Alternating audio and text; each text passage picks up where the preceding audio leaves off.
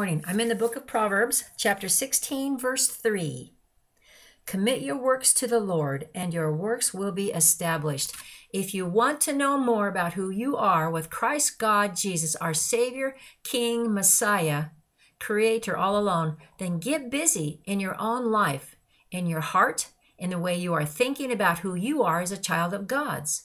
If you want to know more about who He is, then get busy in your life, with your work, with your time frame and with people around you and help them to get things done in their life too, spiritually, as well as physically, mentally, emotionally, and perhaps even financially. You might be able to help out a little bit there. Maybe offer them a position, grant them some money for a period of time, or just give it to them to help them to get through a situation that they are in financially that they need at that moment in time. Let your work be satisfying before God Almighty Jesus. I can tell you this I'm happier than I have ever been before. Up until this moment in time, I had questions, I had doubts, I had fears, I had progression of anger and the stimulation of frustration and impatience and just doubt that just was continuously there in my life. I still have some of those things going on in my life. And in my work, I'm here to do what my God Jesus tells me what to do. It's forever for him and it's for now for me. Because right now I'm here to pray for those around me, but at the same time, I'm not really out motioning those around me who are out there in this world doing something they should not be doing. How can I do this here on this world right now, all by myself? Well, I can't. God Jesus is with me, and He is with each and every person in this world right now. Through the holiness of who they all are, the Holy Spirit, who is God with each and every one of us, right now, right here in this world, on this earth, to be here in the exactness about who he is and was as Jesus Christ, God, Savior, and Creator all alone and yes, infinite God, before he became God's Savior, and Creator all alone, Jesus, with the holiness of who they all are, the Holy Spirit, and yes, our Heavenly Father, God Jehovah. The miraculousness about all of this is simply that we're here to be with God Jesus in our work. And our work is to simply say He is believed on by Him who sent Him. That is God Jehovah who sent Jesus Christ, our God and Savior alone. He is the one who sent Jesus down here to die on the cross for the world's sins.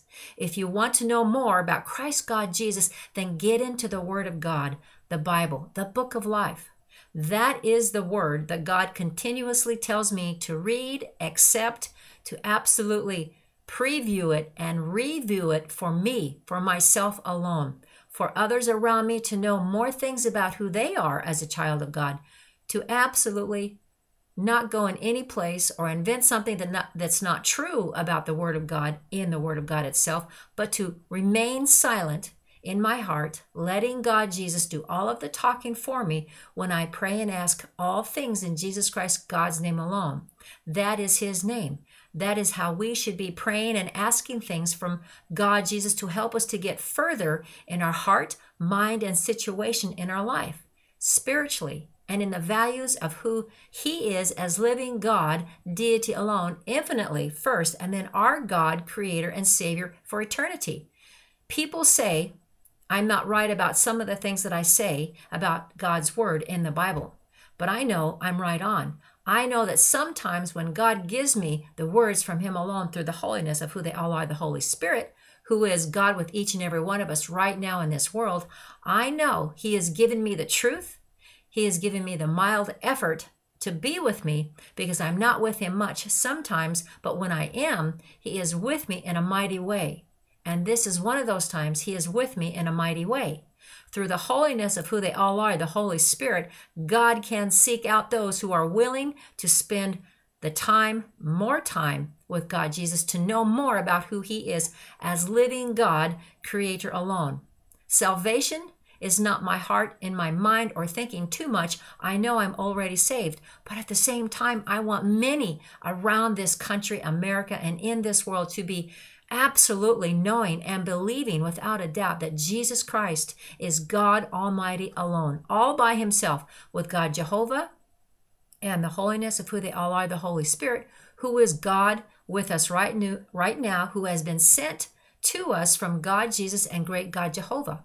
Because the holiness of who they all are, the Holy Spirit, is the only way to know and to believe who Jesus Christ is as the Son of God, who was God Himself in the flesh, who did die on the cross for the world's sins and was risen from the dead on the third day. No one else could have done what He does, what He has done. No one else can do that now. They don't have to. And number one, we can't because we are not godlike. We are not gods. We are God's children, His creation. Therefore, Jesus Christ, our God, Savior, and Creator alone, God Jehovah's Son, who is Jesus Christ God, and by His name alone, Jesus Christ God came down here to do His work all alone. But yet, He was with His Heavenly Father on a daily basis all of the time. How could this be? Because He is God, and with God, all things are possible.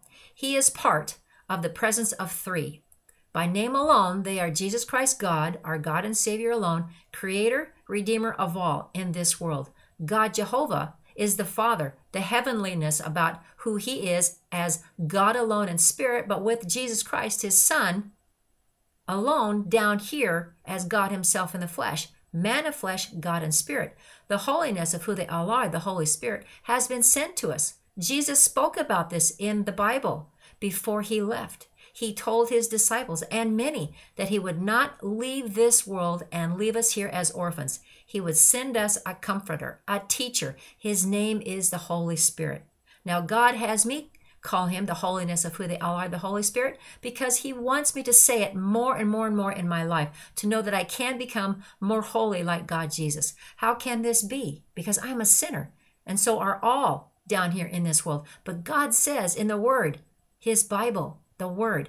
Be ye holy, for I am holy. It is in God's Word. Be ye holy, for I am holy. No one else can do what Jesus Christ, our God and Savior, did. I'm not a sinless person. I am a sinner. But I have been here retrieved into my life to be absolutely conceiving and meaning what God Jesus wants me to understand for me alone. Now, I don't know about you or anyone else on this world. I know that so many around this world and this moment past, all the way up until the return of God Jesus, will confess Jesus Christ as living God, Savior, and Creator alone, with God Jehovah and the holiness of who they all are, the Holy Spirit, as one living God in the presence of three. But still, infinite God first and always, and our God, Savior, and Creator alone throughout eternity. How do I know all of these things if I have never spoken to anyone and no one has taught me these things from their own voice, their own time, their own talent, their own gifts. Well, the Word of God is speaking to me a lot, and the Word of God became flesh and dwelt among us. His name is Jesus, Jesus Christ, God, the Son of God, who was God Himself in the flesh, who did die on the cross for the world's sins, and was risen from the dead on the third day, and He rose Himself on the third day with God Jehovah and the holiness of who they all are, the Holy Spirit. How? Because with God, Jesus, all things are possible. Matthew 19, 26. I believe everything my God tells me. I know my mind thoughts, my mind thoughts get in the way sometimes when I'm away from God too much and I've got a lot of things going on in my life and I'm thinking about a lot of things. But when I settle down and I pray and ask God Jesus for the words to come from Him alone through the holiness of who they all are, the Holy Spirit, more loud, clear, and precise, and imprinted in my heart, soul, spirit, and mind, and that he would put these words into a beginning, middle, and ending contract, finishing debate, or statement, or absolute answer about what I'm looking for in my life at that moment in time. It will be a question from me to God Jesus, and I always pray and ask all things in Jesus Christ, God's name alone. And when He tells me enough, I know that I can do the right thing better.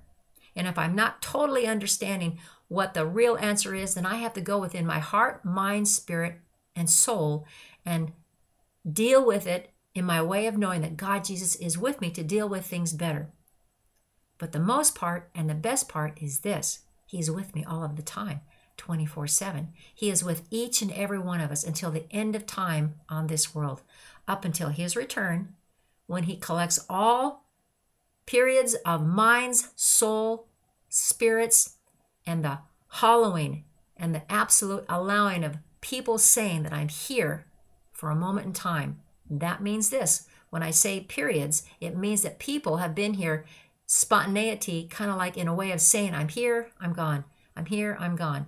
Meaning their heart is with God for a bit, a few seconds maybe, and then they're out of their heart into the thinking, out into the world, doing their thing, having fun, and being with God Jesus, not hardly at all. Doesn't mean they're not saved. It just means it's a period of time for them to be thinking about God, but their work, activity, and other things going on in their life, stuff, has kept them away from God. And their doubts about God has never left them. They just don't spend amounts of time in their heart to be with God. So God has limited limited it down to periods meaning they will be raptured up with him into heaven because they truly believe in God and Jesus Christ is God. So that's the best part. That's a good thing. That's a fantastic thing. Awesome, miraculous thing. But at the same time, there's many down here who will be spending their time, many more times out there doing sermons, studying the Word of God, writing books, doing TV shows or movies about God's Word. And they will all be absolutely worthy, even if we never say or mention God's name or one word about the Bible to someone else in our lifetime here, and it might be spent doing other things on purpose because we just don't want to spend that time trying to understand God's way for us to do things from the Word of God because we don't understand it that much, but we understand His Word enough to believe in Him as living God, Savior, and Creator alone, Jesus, and His Heavenly Father, God Jehovah, who is God with them all, including the holiness of who they all are, the Holy Spirit, in the presence of three. But by name alone, they're in, they are in the presence of three. That's it. Not three gods, not three spirits, not three entities, and not three persons. They are God alone, period. In the presence of three, as still one living, infinite God all alone. And our God, Creator and Savior alone throughout eternity. I want people to know that there is a difference between the infinite God, whom I worship all of the time daily, and my God, Savior and Creator alone, whose name is Jesus Christ, our God and Savior and Creator all alone. So I'm going to repeat myself because I want you to hear it enough times in your heart, mind, and thinking when you are watching something like this on YouTube or hearing someone else speak his name like that. Remember who he is. He is God first Almighty. And his name became with us after he was born into this world by his mother Mary. From her womb, he became a presence in this world. But many didn't know him. Many could not see him. Many did not wonder about him because they didn't know he was here. He had to be kept practically a secret for a long period of time because many were seeking him to murder him, to dispose of him and his worthiness about who he is and was as God's son, God himself in the flesh. Can you imagine how his mother Mary must have felt when her son was hanging there on the cross for her, her sins, the world's sins?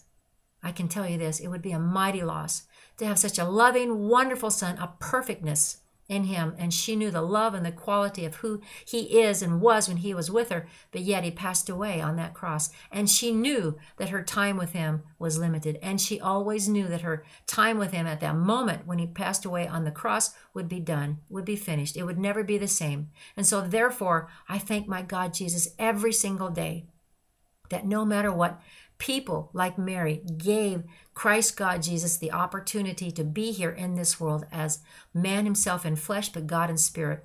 He was birthed from her womb, but he is still her God, Savior, and Creator alone. But first, he is still her God alone infinitely. It's a miraculous, wonderful thing to think about.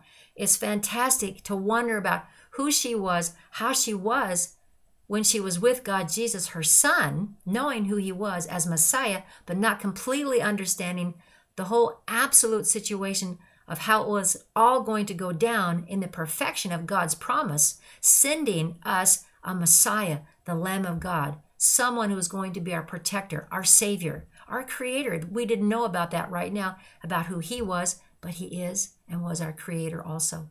Remember, when I'm here reading these words, from my heart and giving them to you here online or to someone personally, one on one, or a few around me, or a sermon in front of people, I know that they will not and do not understand everything that I say. But I can tell you this when I'm here saying something for my God Jesus, I mean it with all of my heart, soul, spirit, and my mind, knowing that when He gives me these words, all of these things from Him alone are simply from Him, knowing who He is as Christ, God, Savior, and Creator alone.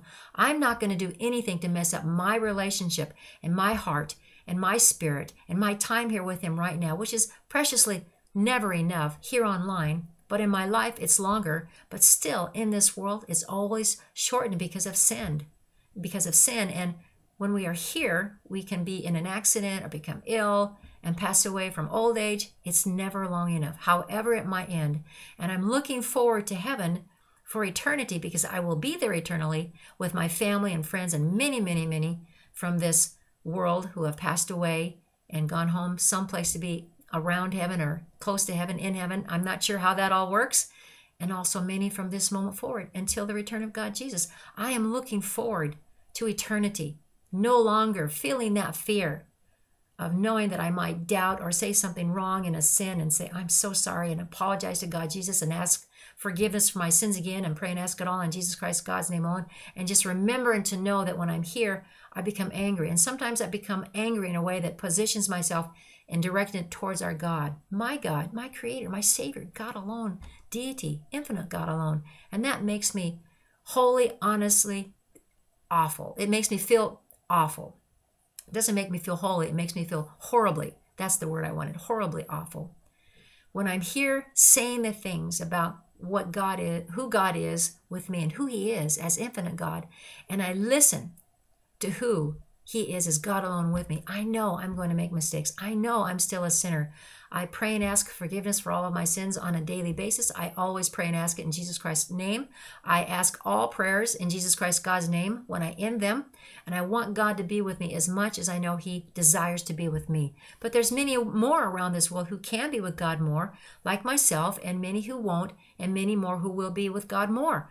Why? Because he's with them more because of a ministry they have out there on a stage, writing books, doing movies, on TV, radio. They do sermons, they talk about God's word, and they're there for God, Jesus alone, to, to uh, share God's worship and the value of who He is as living God King alone. So, what does that have to do with everything that I just read in this scripture? Commit your works to the Lord, and your works will be established. That's Proverbs 16:3. It means this that when you continue your work in life, your first work above and beyond all things in this world, anything and everything you can think of, worship and believe on Jesus Christ, our only true living God, Savior, and Creator alone. That is in the Bible. Believe on Him who was sent. That's what He told people in front of Him whenever he was doing a sermon, and these people around him were so excited about God and his word and the works they wanted to do for him, they said, Lord, what can we do in works to do your work? And God, Jesus said to them, Do what you're doing now. Believe on him who was sent. And that is our God, Savior, and Creator all alone. I don't want to emphasize anything more except for this. I know that my works are not here to be exploited as much as I think they might be, but at the same time, they could be. Now, that's a suggestion and a question all at the same time in my heart. I don't know what's going to be. I know I know this. I take my life one day at a time, but I still plan for the future because that's what the Bible says. Plan for today and tomorrow, but tomorrow you don't know about. So live through this day with God Jesus in your heart, eh, with God Almighty, knowing that you know who He is as your God, Savior, and Creator all alone, but infinite God first. Worship Him and worthy Him in your life all of the time, as much as you can. That is your first, above all, work amongst everything else going on in this world and in your own life personally. Know Him, believe on Him, Jesus Christ, our God and Savior. That is your work. When things are added into your life and you go out and serve people, God's children, His sons and daughters, His creations, you know that's another work God is going to bring to you, but you are already saved through the blood and life and value and righteousness about who He is as living God, Savior, and Creator alone, the Son of God. For God so loved the world he gave his only begotten son that whoever that whosoever believed on him can has life eternal. That's in john 3.16 you have to know every single time i'm saying these things i know these things are of truth and fact. Nothing i have said in this moment past or right now and from this moment forward with God Jesus with me in my heart through the holiness of who they all are, the Holy Spirit, who is God with each and every one of us on this world right now. I have never spoken about the value of me. I downsize me to a minimum, minimal, tiny, teeny, tiny person that is nothing unless my God Jesus tells me something to say from Him alone, who is God Jesus, to me from him through the holiness of who they all are, the Holy Spirit, to me. He gives me the words. He tells me what to say. I say it the way he tells me to say it because it's me. It's my personality. It's the words he knows I am going to use and know how to use perfectly for him.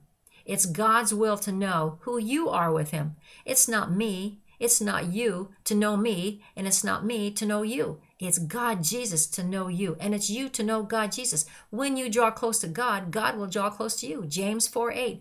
I will mention these verses, certain ones, different times throughout sermons that I do, many times over time, and I have already. Remember, the timing for God Jesus to be with each and every one of us is his will and desire to pick you, to choose you to be in salvation with him, to do his work, to believe on him, first of all, who was sent. Jesus Christ, our God and Savior. That's your first work. That's your only work. If you were to pass away after you confess your sins, ask forgiveness for your sins, and then you passed away asking God, Jesus, to be with you, you would be saved without any other work going on in your life. Many people have done that over time since the beginning of life. The value of a heart of our heart, mind, and spirit is just simply here to be with God Jesus more and more and more, and to know who He is, to believe on Him who was sent to die on the cross for the world's sins, our Savior, God, Creator, all alone, Jesus. We already know who He is. Romans 12 3 says it, for God has given to each man the measure of faith. So why not take God's word, put it into your heart, put it into your thoughts, your mind, the way you're thinking, your heart, soul, and spirit, and everything that you do in your life, let Him be your priority work because He is already. It says so in the Bible. It doesn't say it that way, but Jesus says it in another scripture when He told His disciple or His children in front of Him when He was doing that sermon to them.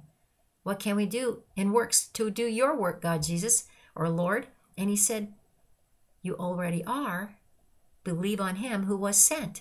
That's your work.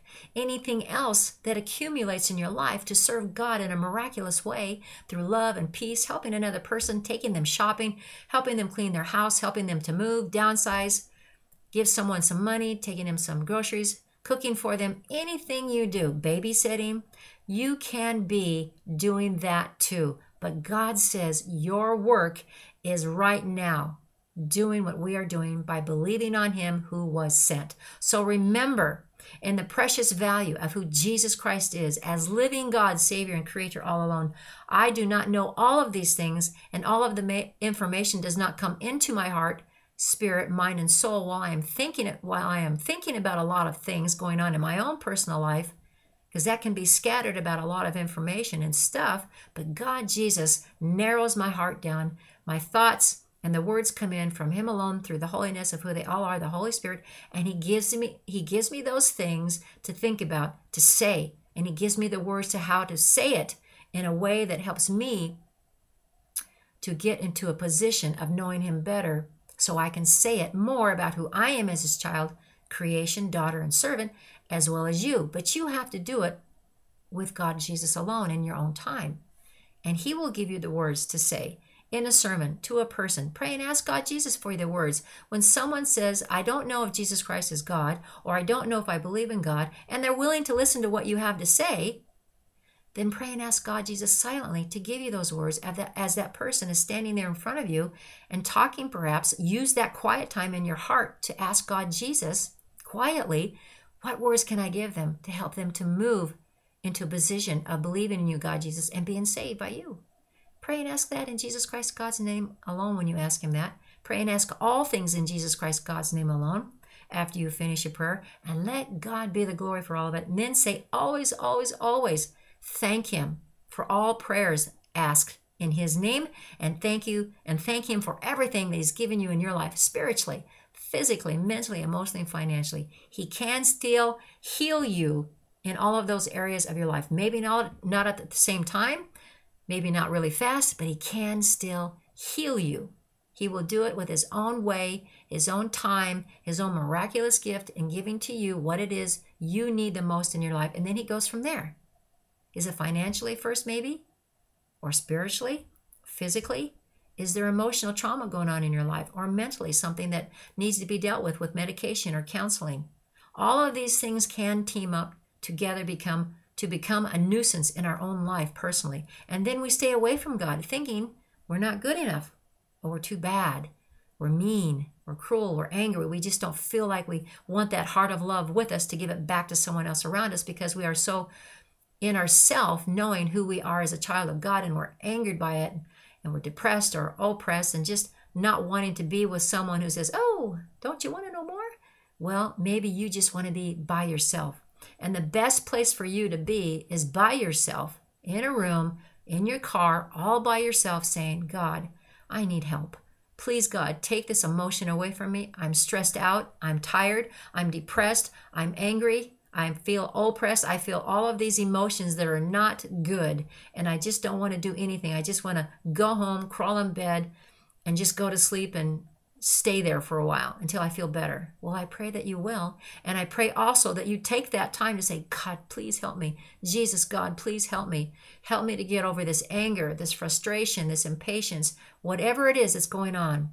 The emotional healing is the most out there right now going on inwardly to help people to know that they are worthwhile, that they are still worthy in themselves to be a child of God, a son and a daughter.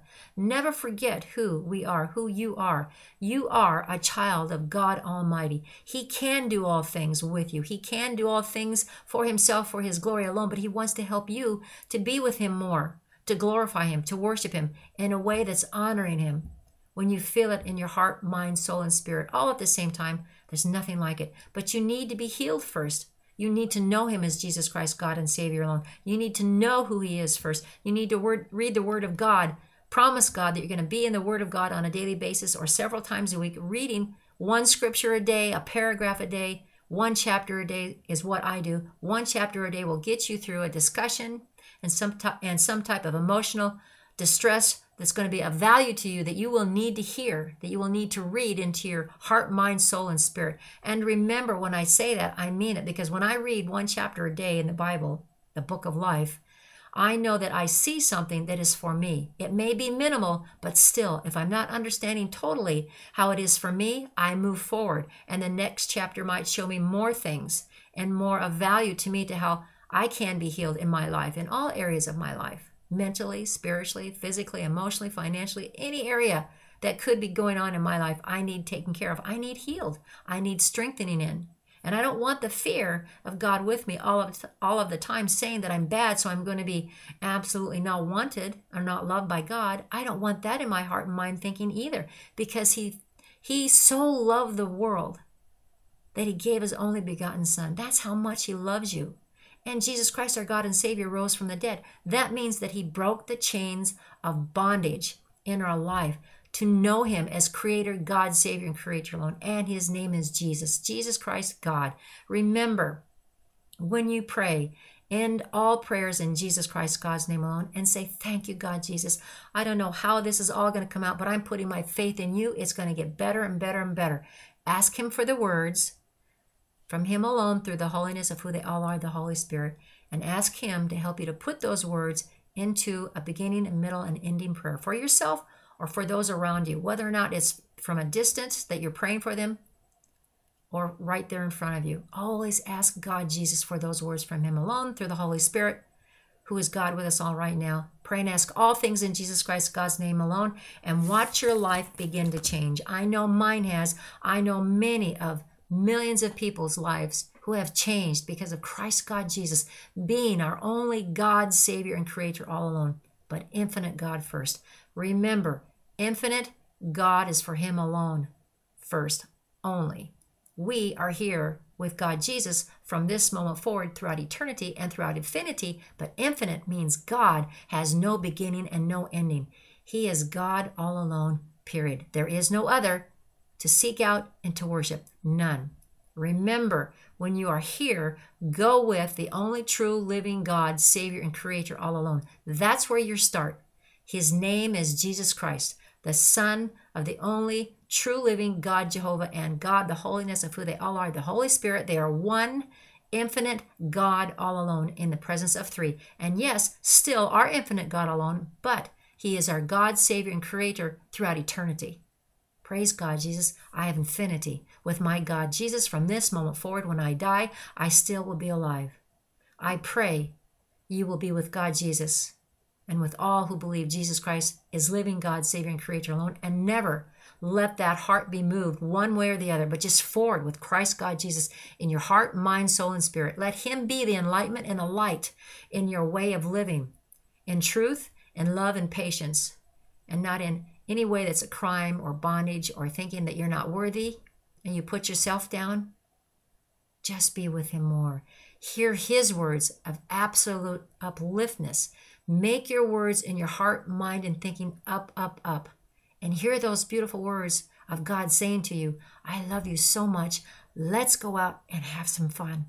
And that's exactly what I'm going to do. And for whoever you are, if you're not having fun right now, you will sometime in the future. Like from this moment forward, you will be healing spiritually, physically, mentally, emotionally, and financially. You will be healed and financially blessed. I know you need work. We all need work. We all need money coming in. If you are retired, I pray more money will be coming in from an area where you can keep track of it, making sure that you turn into taxes if you go over that limit that you have to be staying under to not pay taxes on it. But I pray and ask in the name and blood of Jesus Christ, our God, Savior, and Creator alone, that no matter what, we will all be giving, getting government checks for more into our Social Security, and retirement is individual. So that's simply separate. But Social Security is an important value to all of us who have retired and will be retiring. So I pray that our government is going to be spending this money not so much on other people around us, around America and into other countries, unless it's worthwhile for God to save for them to do that, then fine.